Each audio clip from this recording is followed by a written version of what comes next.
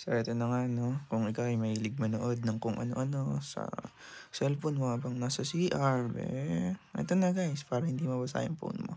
Okay, happy watching!